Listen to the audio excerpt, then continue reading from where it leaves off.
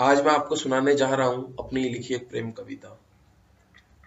जब तक रही मेरे सामने हर दिन लगा त्योहार, जब तक रही मेरे सामने हर दिन लगा त्योहार, तेरे जाते ही लगने लगा रंग फीका और बेकार। होठ जैसे फूल कोई जुल्फ जैसे बहार, नैन कजरारे लगे सावन की पहली फुहार।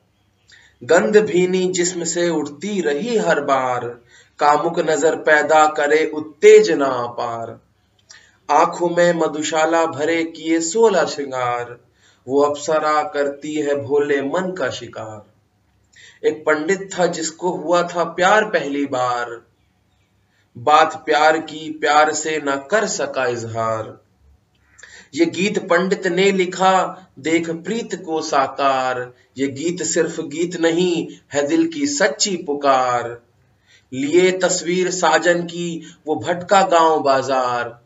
लिए तस्वीर साजन की, वो भटका गाँव बाज़ार। प्रीत से मिलन को छोड़ा हर रिश्ता घर संसार।